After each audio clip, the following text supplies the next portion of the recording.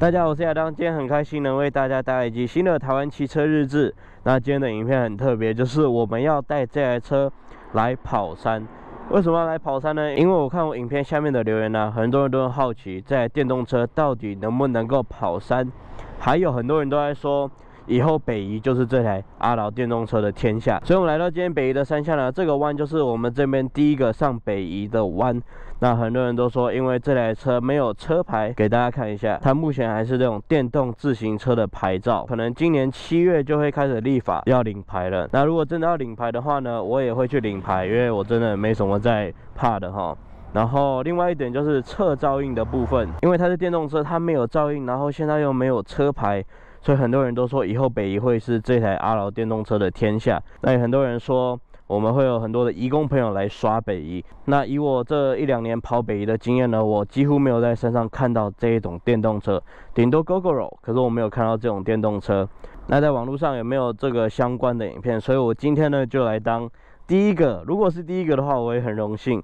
所以我今天就来当第一个来测试一下我们的阿劳电动车到底能不能。跑我们的北宜吧，顺便跟大家讲一下，如果要用这种电动车跑北宜的话，跑山路，我个人是觉得电量是最重要的。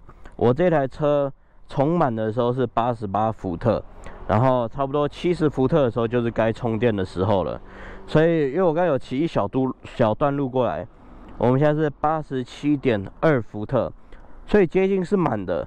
那我们今天会从我们现在山下的第一个弯，骑到我们的公车站那边做个休息，然后来看一下还剩多少电。那我们一路上都会用一档在骑，也是最省电的模式，因为你骑越快，这台车耗电的越高。那我们现在就马上去实测吧，走。好的，我们现在顺利的要经过第一个弯了，那我们从这边开始。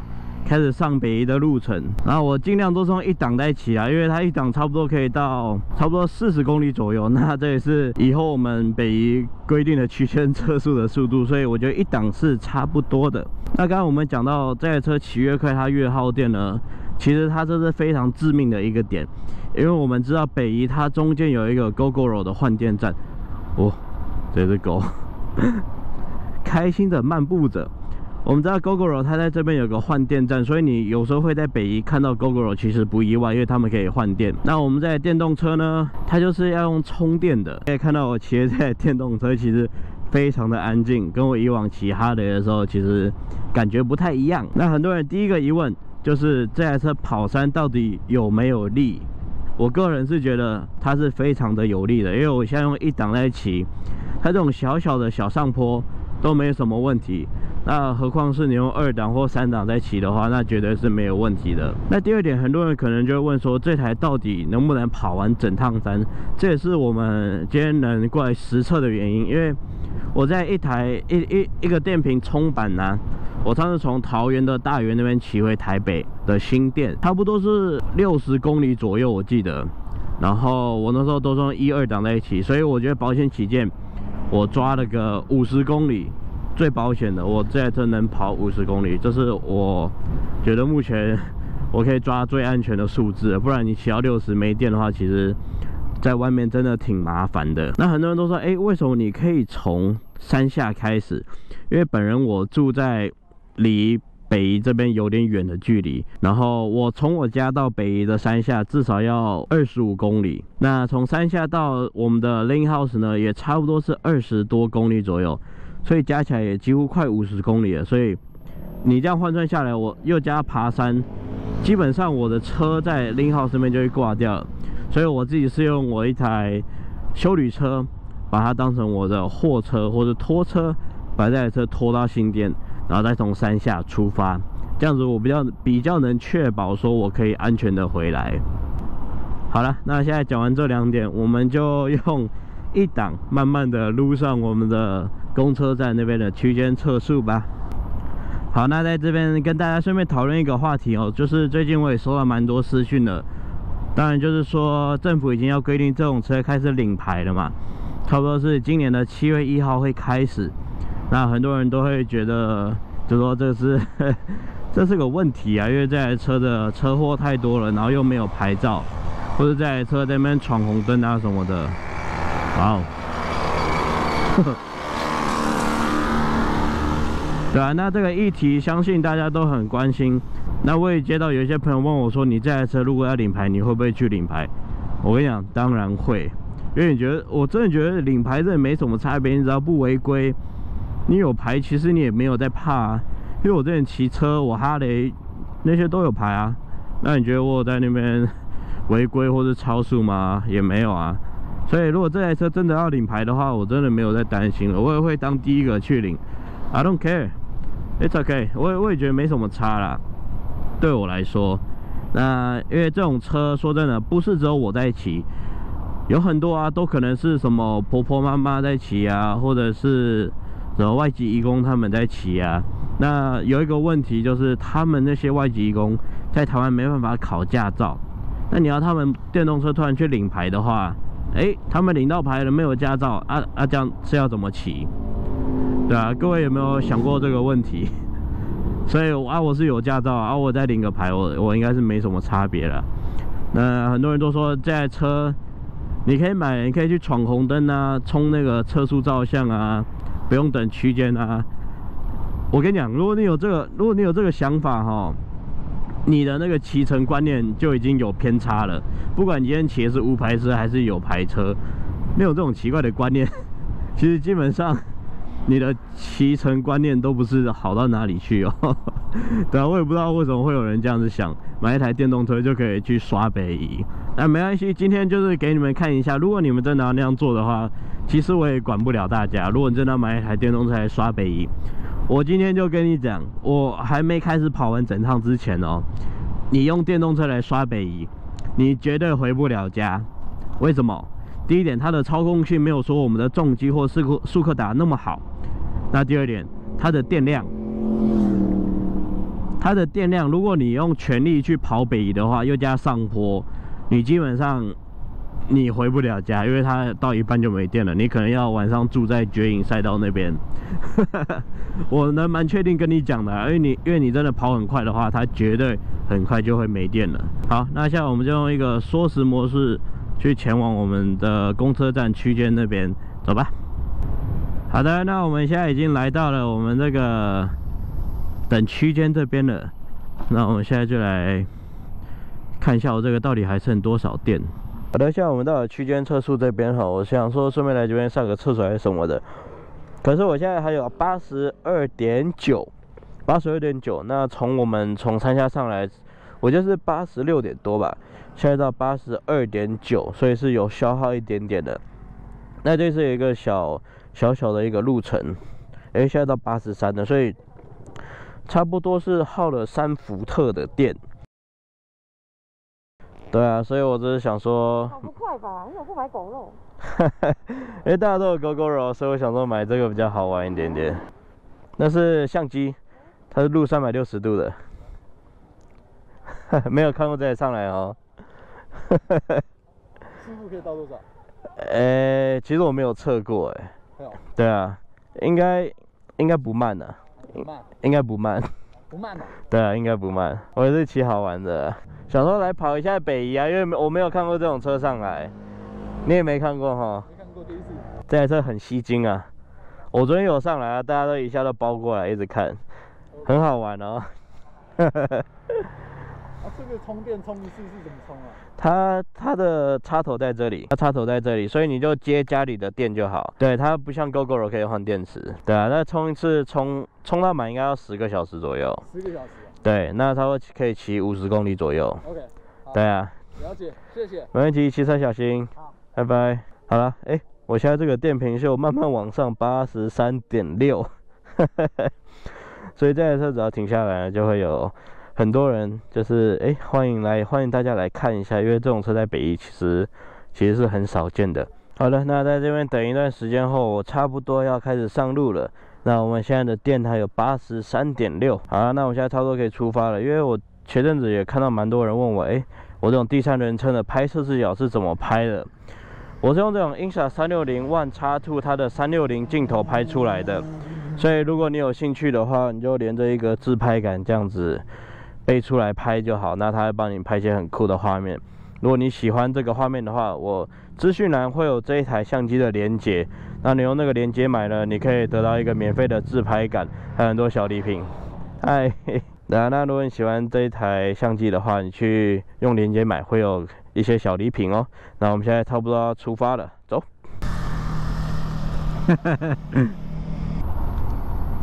好了，我现在到我们的绝影三十四 K，哇，这里看起来办的蛮盛大的哦。对，小小伟、姚大他们的车都停在前面，所以还哎还有咪菲的车，他们停在这，那我也停在这边一下好了。Yes，哎，其实我该，我现在骑上来还有八十趴的电。所以基本上来说，如果你要骑这种车跑山呢，是可以的，它绝对是有利的。如果你要注意它电池的电量而已而已啊，我的那个 那个方向灯没有关。Yes，所以基本上就是这样子。我们子恒大大，好久不见！好久不见，好久不见。有没有看到我骑什么车上来？超屌，这真超屌，我有看到。对啊，这是来测试一下它的电力。看超快。那还有比哈雷屌啊？我觉得它骑起来比比哈雷好玩。对啊。好爽哦！可是就是要计算一下它到底可以跑多远而已。对啊。哎呦，十三的外套，帅帅帅！对啊，我现在这台车，大家都叫我买仿赛。现在那么多人骑仿赛，当然是要骑一点不一样的才好玩嘛，对不对？好了，现在我们到绝影这边呢，这边的茶庄老板娘，哦，有个大声。我那个茶庄老板娘人很好，借我就是在这边充电，然后跟老板娘说该付的电费我还是会付，所以我有买饮料，然后看老板要收这个电费，其实它只有三千瓦的电量，所以差不多一千瓦是一度，一度现在不知道是一点多还是两块钱。所以我充满整颗电池可能要非常久，可是它的耗电量可能就可能最多三度，三度你再乘以台币一度两块钱，可能六块钱左右。所以如果老板娘就是很感谢她让我这样子充电，可是我刚才跟她提说我会付这电费，老板娘也说不用，所以真的是非常感谢老板娘。这样我这里有多一条就是多延长线，然后我的基本上充电它就直接接在这边。非常的好用，可是我就这样给它放着了，因为我现在电量差不多，我现在电量有七十八点九，那现在是差不多三点，我们看它充一个小时会充到多少趴吧。好的，我现在充了一个小时，现在是四点十七，从刚才三点到现在，来看一下它到底充了多少，看起来八十一点三，所以这真的是要充非常久。老大喜不喜欢这台车？我在想要怎么改才爽。小伟，你最常跑北宜，是不是这台车？你有在北宜看过这种车？完全没有，完全没有，对不对？第一次。我现在终于知道为什么没人骑上来了。你只要在山路这台用胚的，基本上你回不了家。它它是单行程，趟，你顶多上来下不去。如果你真的是用真的是用胚的那边一直刷的话，你真的完全回不了家。所以有人说以后这边会成为阿劳的天下。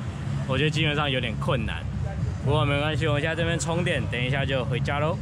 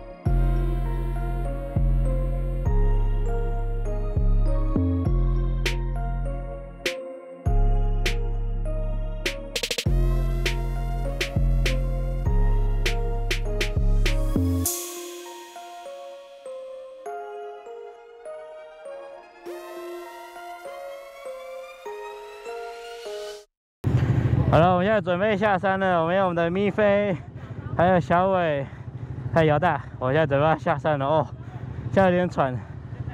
嗨，嘿嘿，嗨，等下现在有点喘，刚才帮姚大车推发，车放太久都没有起。好，我们现在准备下山喽。好，那至少我们现在电还蛮多的，可以至少可以跑一下。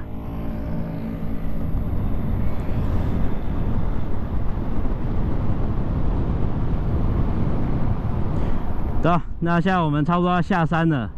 嘿嘿，我这一路上都骑得很慢，而且至少山路这个算是比较平整的一个一个山路，因为我这台车其实后摇臂呢非常的弹，因为它太软了，所以基本上你只要有一点点小坑洞，它就哒哒哒哒哒哒它就一直弹。那我们今天做点做点总结，今天的主题就是阿劳电动车到底可不可以跑山？结论是。哎，可以，只不过你要注意你的电量，还有你要跑的山。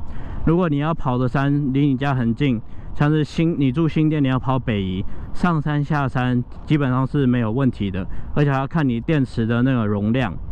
那如果你住戏子，你要从戏子去跑五指山呢，基本上是非常够的。哎，你上山下山也不过三十公里多左右。如果你要跑山，建议你先知道你自己的电动车能够跑多远，再看一下你去那座山跑的距离要跑多远，再去跑。不然你真的半路上没电的话，其实这台车充电非常的不方便。所以建议，如果你真的要跑山的话，还是看一下你在电量可以跑多少。好了，那谢谢大家的收看。如果你对这台电动车有什么问题呢？有什么好奇的？哎，等一下，这里搞不好有追焦照。哎，又收到一个赞。对啊，我们这次出来骑这个呢，咱们就慢慢骑，拿些照片，然后搞不好后面会有一些外劳弟兄朋友上来跑山。对啊，那如果你对这台车有什么问题呢？你想知道的，因为后面我们会做一些如何买电动车，然后跑山这一集今天就稍微讲一下。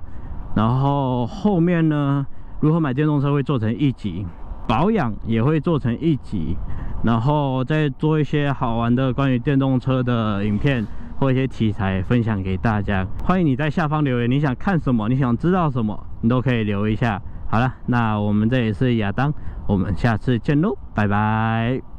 好了，今天我们北一整趟跑下来呢，上山加下山，满的时候是八十八。